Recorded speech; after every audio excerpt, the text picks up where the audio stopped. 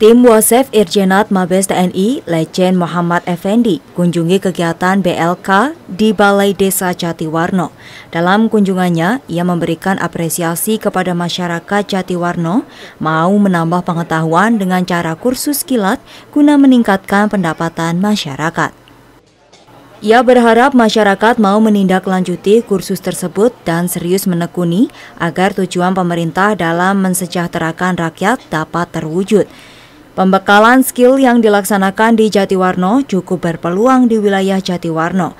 Selain itu, skill yang mumpuni akan meningkatkan taraf hidup masyarakat secara otomatis. Kami dari Satgas,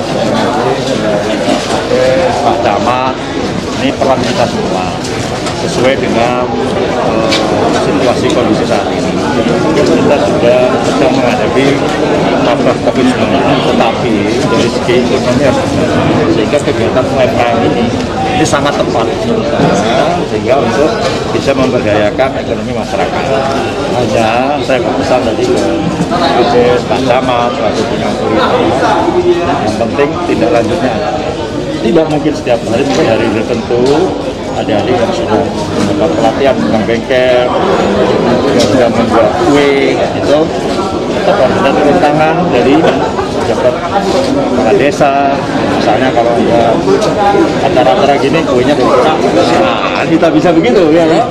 Buka bengkel di sini, kecil-kecilan, mungkin masyarakat memerlukan pelayanan dari